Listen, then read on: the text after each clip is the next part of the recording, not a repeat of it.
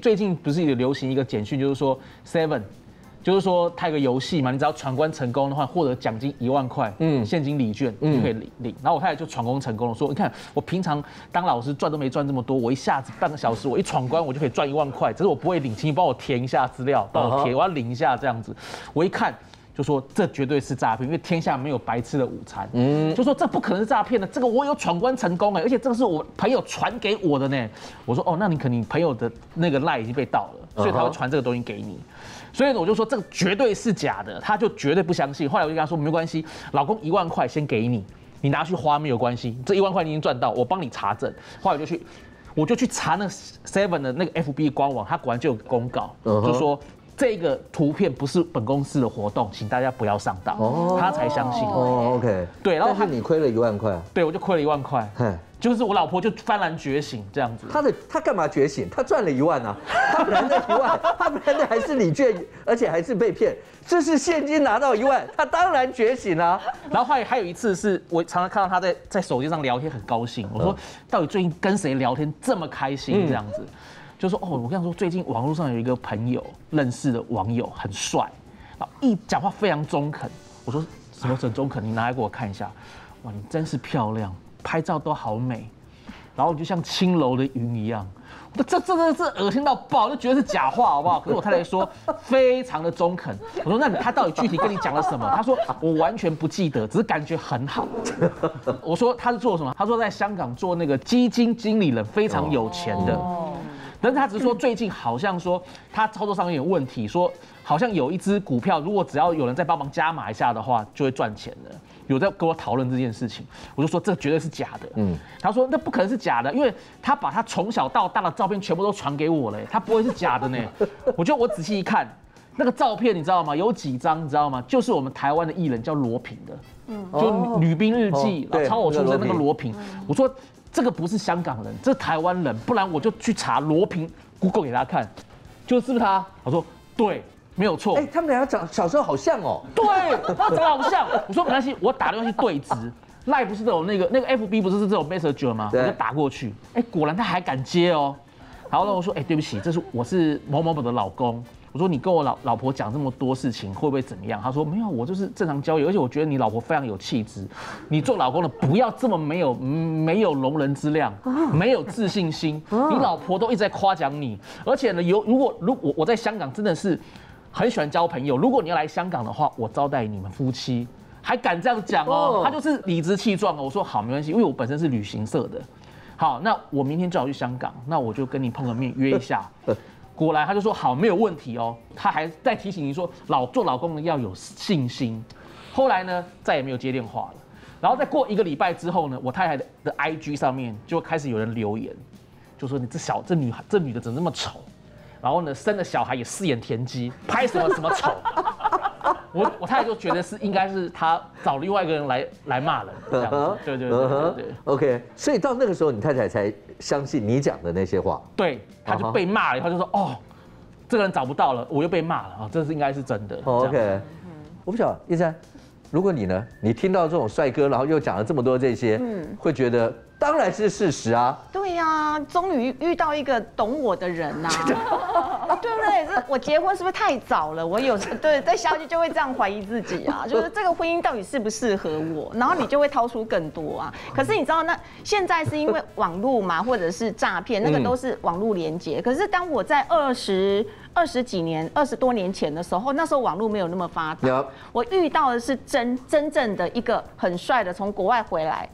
你的意思说他老婆遇到的一定不是，然后你遇到的一定是真的。因为网络上现在就是虚虚假假嘛，有那种小朋友长大之后，其实那个人不是他，那个都是可以作假。所以你真的碰到了一个帅哥？我真的碰到了一个帅哥，你知道真人实证会比那种网络虚拟的还要澎湃。嗯，就是说那个眼神，当他送你一朵花的时候，就是一朵很很玫瑰花的时候，他顺便讲说：“我今天觉得我该送你一朵花，你真的就是我的公主的时候，那个眼神啪。”配配下去，重哎，你就是把他当成是白马王子，而且那白马王子白马到什么程度呢？他说他那时候就是因为有一个美商公司，他是新加坡人，但是他到美国去，他说他有取得绿卡，我也看过他的那个美国的绿卡，然后他说他公司外派来到台湾来做短期的一个工程师，那我也相信他是我朋友的朋友，我们就是就是朋友。有一天他就开始约我出去，然后就开始在家里煮鸡汤给我喝，那我就觉得哇，这个人怎么会对我这么好？那长得又帅，然后又国外，那然后他又讲说，因为白马王子都是这样子嘛，一定会骑马。然后他说他们在美国的时候 骑马去打猎嘛，那么就是那时候就是少女心喷发，就会想象，对他就是白马王子，他只是现在落难到台湾来，是不是我是他真命天女，我就是该帮助他呢？于是有一天他就跟我开口，他说他带的美金不太够，所以他他住他朋友家，他的生活开销有点。透支就是隔一个月他才会发放薪水，可是他现在就是爸妈在新加坡也不知道怎么汇款，然后他带的美金也不太够，然后所以他就我就觉得哇好可怜哦，他落难了，嗯，只有我可以帮他，我是真命天女，然后他全球他说他很久没交女朋友了，走遍全世界到台湾来才遇到一个真正让他觉得心动的女人。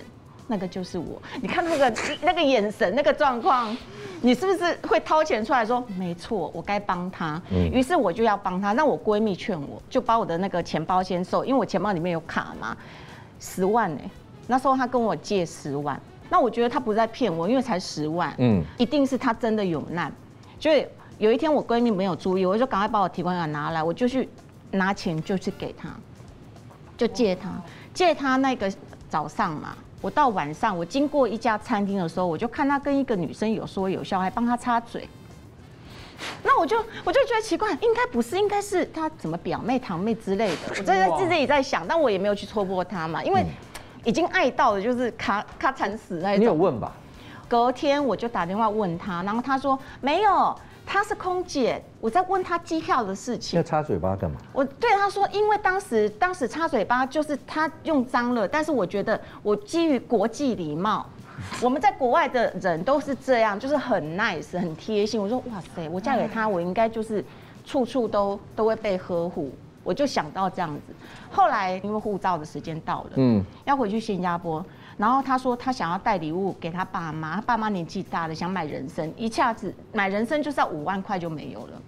然后他我就觉得哇，你好孝顺哦。嗯。可是五万块你可能没钱啊，我就说没关系，我先帮你买。对，而且反正以后你要进他们家门，那你等于也是让自己的公婆对，等于是有面子，先铺路嘛。这应该的。对，先铺个路嘛，让他知道说有台湾有一个媳妇儿这么好，嗯，然后买东西要为他们补身体就好。他一走之后。找不到人，以前没有 IG 哦，没有 FV 哦，然后打电话嘛，我打国际电话，他妈妈说他不在家，嗯，哦，从从此以后只要见就就找不到人。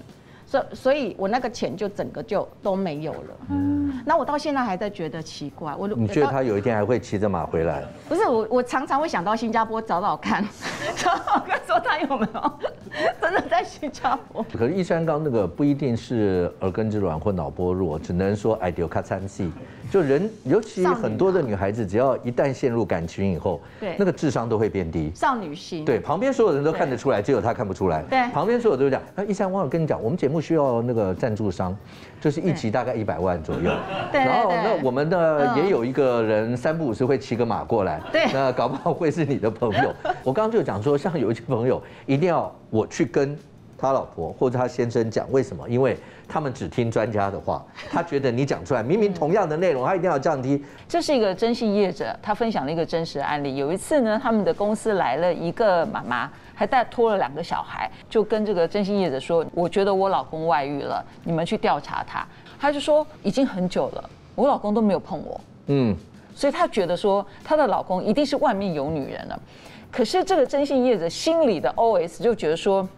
因为你呃就是家庭主妇也不打扮，有没有可能是因为这样，老公可能对你没有太大的兴趣之类？那总要问你老公做什么的吧？结果他讲说，我老公在一个工厂当作业员，嗯，收入多少？四万块，四万块还要轮那种十二小时的班，大家知道吗？有那种大夜班，啊，白天晚上这样轮。那马上是真心业者连案子都不接了，就说不会吧？哎，各位想想。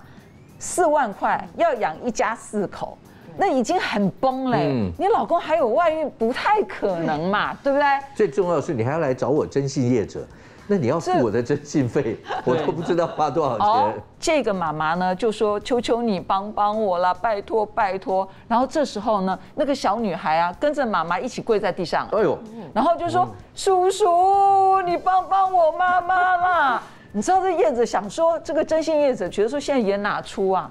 怎么会这样？那因为小孩子也跟着要拜托，他还真的就找人去跟着他先生，结果跟了一个礼拜之后，他说好惨。他说他第一次这么同情他的这个当事人。他说这个先生呢、中午都没有吃什么东西，可能就是买个饮料就回去了，所以基本上他也没有跟他的同事有什么互动。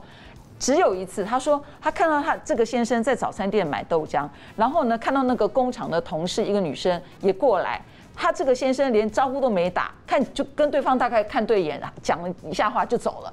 他说一个礼拜，他唯一近距离的跟女性雌性动物接触，就只有那一刹那。嗯，然后一个礼拜之后，他就告诉这个妈妈说：“你先生真的没有外遇，然后会给他证据吧？你先生都做什么这种什么？哎，拜托，我们都说要眼见为凭，对不对？对装睡的人没有用。呃，你们没有认真，我很失望。你们绝对没有认真，我先生绝对有外遇，拖了孩子走了。这个征信业者就说，后来这个妈妈真的跑到另外一家征信业者那边，用一样的方式，请对方去调查他的先生，而且抓到了。那这个业者就觉得怎么可能？嗯，他们是怎么抓的？好、有照片，所以他们大概私底下也会去问。原来你知道多可恶吗？对方呢就告诉这个妈妈说没问题，我们去跟。应该是跟了几天之后，发现没有东西可以跟了，于是那家征信业者就找了一个女生，也是他们公司里面的呃员工，就假装到这个这个这个老公会经过的地方，然后呢，假装什么？就假装跟男朋友吵架。举例，我就是那个征信社的员工，我就装着我跟我男朋友在路边吵架啊，然后就就算准了时间，那个妈妈的老公会经过，骑摩托车嘛，就你知道好会演，就跪坐在地上就哭了。那我问各位，英雄好汉，一个女生长得还蛮漂亮的，躺在地上哭，你会不会想办法问一下你怎么了？嗯，会吧，好歹光会嘛会嘛，哈，现在可能不大会，呃，哦，年轻的时候会，年轻的时候会，对。对不对？她这个老公呢就想，哎呦，哦，现在什么情况？当然就摩托车停下来，就问说：“小姐，你还好吧？”结果这个女生就说：“我男跟男朋友吵架，他车开着就走了，就把我丢在这，不好意思，那这个哥哥，你可以送我去火车站吗？”这样听好像也合嗯合理嘛，合理啊看起来不是诈骗集团，他只是要我送他去火车站。好啊，他一脚就跨上来，就摩托车就就上去了，对不对？那坐在后座是不是要烂屌屌？嗯这女的搂得特别紧，然后整个身体，呃你知道吧？哈，哇努力的抱着，bingo，再怎么样都拍得到啊，对不对？然后送到火车站之后，是不是下车？哥哥，你真的是善心人士，然后又装着是哭，你知道，一个很伤心的女孩跟你谢谢，然后给你一个热情的拥抱，你会不会觉得很正常？对不对？好，所有的证据都有了，梨花带雨的小三还跟你老公勾勾搭，然后两个人非常的你知道缠绵悱恻，这证据算不算？然后我要问各位，这个妈妈她根本没有钱，那她怎么有？你知道征信社那家征信社开了三十万的价钱，嗯然后在去工作之前，这征信社说没问题，我们都有配合的，我帮你那个信用卡借钱，嗯，很快手续你不要动，我会找人来帮你签，单子也签好了，然后信用卡贷款三十万，然后就你知道单子签下去，然后就把这弄好，然后证据给他跟你讲吧，你老公不是好东西，嗯嗯，证据在这里。嗯，你可以想象嘛，装睡的人哦，我又要讲那句话，然后这个妈妈一定会，你看吧，哦，就被骗了，是不是？我老公就是有外遇，嗯，那到底是真的假的？大家应该很清楚。听起来就跟那个骑白马的王子差不多。没有我真实的。哦，你这真实的真实的我真的。有怎么样我跟你讲，你那朵玫瑰花花了你十万，你 还有鸡汤，还。有鸡汤。哦，OK。所以有一些刚才光飞也讲，有一些那些梗跟点，什么限量啊或者什么，一直你呢？哎，身为购物专家，那个话术很重要啊。对啊那所以像那些词，你真的能够讲完以后，就发现人灵魂出窍的那种感觉吗？限时限量，仅此一档。就最后一个哦然后名牌就是这是最后一个了。最后一档。对我有时候会参加直播，嗯，就后来现在直播也是这样子，因为直播他们很聪明，就是他们比较会去查，上网去查嘛。然后我们就想说，那卖一个东西是有品牌的，徐差轩代言的，嗯，有品牌，但是你却查不到的，因为要有特制版，特制版就是旅行组。然后我们就想说，这个你没有用过，你不要说你会保养。对你保养了一辈子，你没有这一道，你没有这一瓶，你就等于是你保养是没有全部到位，所以你永远都觉得自己比别人皮肤不好。卖了五分钟哦，五分钟卖了一千多一千多瓶，然后后来完蛋啦。那你自己卖一千多瓶，讲这么满，那你后面还有精华液，那个是那个是化妆水嘛？你后面还有精华液、乳霜怎么办？那怎么办？我就说没关系，交给我。如果你这一道有了，你没有买整套的，我跟你讲，以后买不到。再来就是你没有买整套的，你等于保养做一半。哎，你一起买第二样、第三样，就说这一整套你等于是仙女等级。那个光，你走出去不用任何眼球，就是会看到你那个光，那个皮肤的亮度，发光体，对你就是比徐差轩更加冻龄。然后他就很紧张，还要二三，那二三还有吗？二三还有吗？然后，哎哎，我没看到一耶，就有人在问，我没看到一，我可以加一吗？可以加一吗？我可以加一的一吗？然后就你知道吗？整个卖下来啊，破万组，嗯，一二三各几千几千，加起来破万组。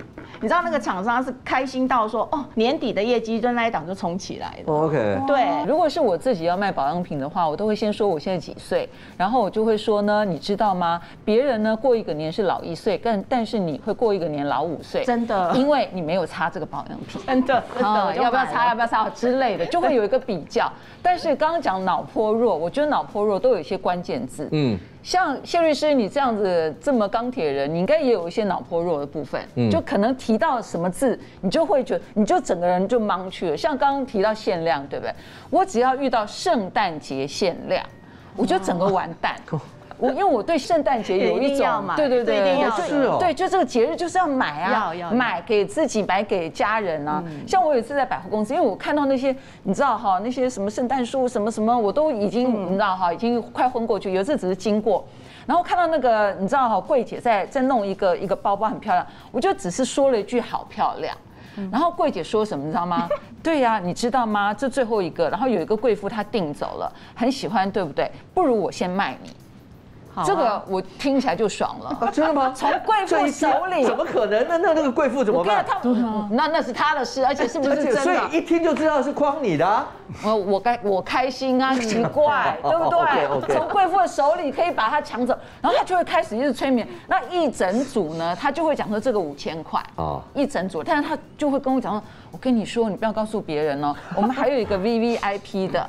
好，非常厉害。然后你这组眼影你要搭那组的刷子或什么什么什么的，对不对？要要那个要那个，因为你不搭那个，他会讲什么？他说你虽然买了五千块，对，但是你没有那个刷子的话，你就画不出这五千块的价值。对对对，我这样讲，你要不要买？要要要要，端出来是一万块。